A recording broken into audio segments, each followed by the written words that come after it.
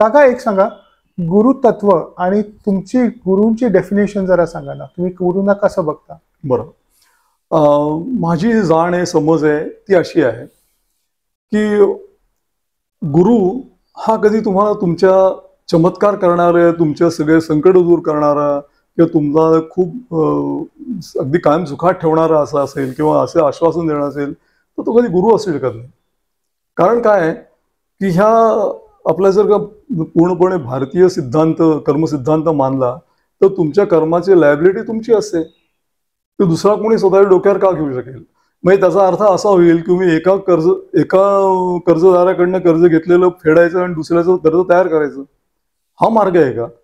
माझ्यामध्ये तो खरा गुरु जो तुम्हाला या संकटातनं योग्य प्रमाणे बाहेर पडण्याच्या करता सामर्थ्य देईल तुम्हाला दिशा दाखवेल आणि तुम्हाला असं बघेल ते ते सुसह्य होईल. हा खरा गुरु.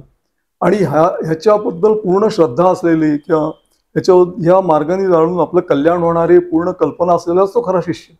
बाकी सगळे आजकाल जे शोबंदर करून दाखवतात तुम्हाला चमत्कार तुला यातनं सोडवीन हे कर ते कर हे पी हे खा किंवा अशा अशा प्रकारचे हे कर हा काय खरा गुरु असू शकत नाही मला वाटतं.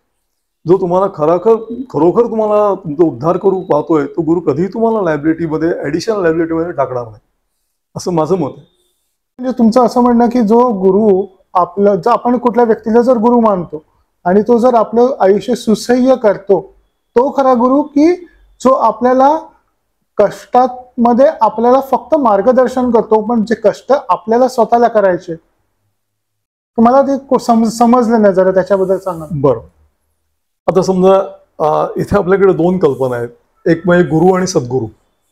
गुरु म्हणजे काय? आपला कोणीही गुरु असू शकतो म्हणजे मी एका बँकेत नोकरी करत होतो. मला मला असं लक्षात आलं की आमचं दफ्तरी शिपाई आहे. त्याच्या कामाची जी सुसूत्रता आहे ती त्याच्याकडनं घेण्यासारखी आहे म्हणजे तो त्या बाबतीत माझा गुरु. पण सद्गुरू ही कल्पना अशी आहे की तो मगाशी म्हणल्याप्रमाणे तो काहीतरी चमत्कार करतो आणि तुमचे सगळे विपदा आपदा सगळ्या दूर करतो आणि स्वतःवर घेतो आणि मग तुम्हाला सुसह्य आयुष्य करून देतो. हा पांगुळपणा काय? हा पांगुळगाडा करणार काय ना?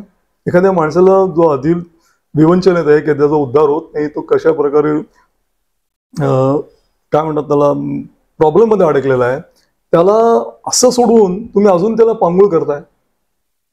सद्गुरू ते असतात की जे त्याला ते सामर्थ्य देतात आणि मार्गदर्शन दाखवून त्याला त्याचं आयुष्य इथे सुसह्यता आनंद सौख्य हा भागच नाहीये. सुख ही कल्पना अशी आहे की ज्या जी आपल्याला सहज मिळाल ते हवीच आहे. पण ती कशा पद्धतीने मिळाली? आपल्याकडे एक दोन सुंदर कल्पना आहेत. सुख आणि आनंद यातला फरक आहे.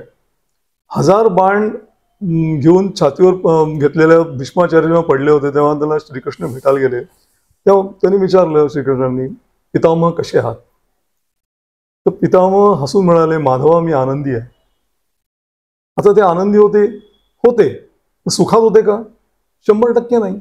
हजार बाण अंगावर घेतलेला माणूस अं, शेईवर पडलेला आहे बाणांच्या. तो सुखी कसा असेल? किंवा बॉर्डरवर लढणारा सैनिक जेव्हा गोळ्या खातो तेव्हा तो सुखी असतो का? शंभर टक्के नाही. पण आनंद शंभर टक्के. हा जो फरक आहे म्हणजे जो काही जो जे सुख तुमच्या आत्म्याला सु सुखावेल तो आनंद. म्हणजे शरीराला सुखावेल ते सुख. आता तुम्हाला सुख देणार सद्गुरू पाहिजे का आनंद देणार सद्गुरू पाहिजे? हे ज्याने ते ठरवायचं.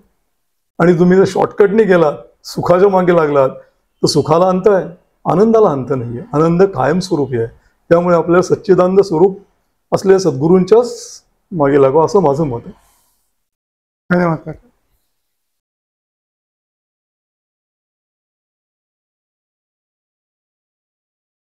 अध्यात्मावर नवनवीन माहिती मिळवण्यासाठी देव माझा चॅनलला सबस्क्राईब करा. पोस्ट आवडल्यास लाईक करा शेअर करा. कमेंटमध्ये श्री गुरुदेव दत्त लिहायला विसरू नका.